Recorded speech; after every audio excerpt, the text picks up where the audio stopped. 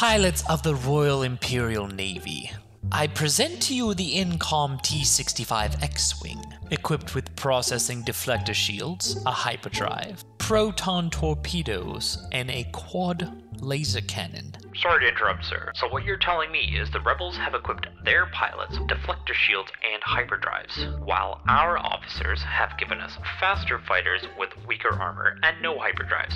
Settle down, pilots, there's no need for shields. We deploy our cruisers, and our cruisers deploy swarms of TIE fighters.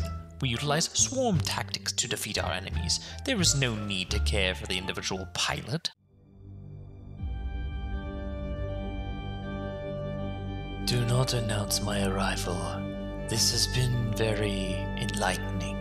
We will begin the project and move forward with the TIE Defender.